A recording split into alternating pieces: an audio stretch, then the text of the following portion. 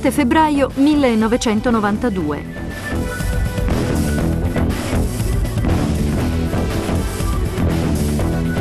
Nella cittadina olandese di Maastricht viene firmato il trattato sull'Unione Europea. Il documento contiene i tre pilastri su cui si fonda la nuova Europa. La comunità europea, la politica estera e di sicurezza comune e la cooperazione di polizia e la cooperazione giudiziaria in materia penale.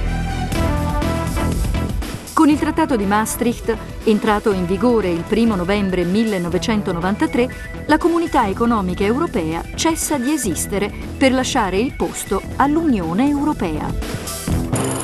Maastricht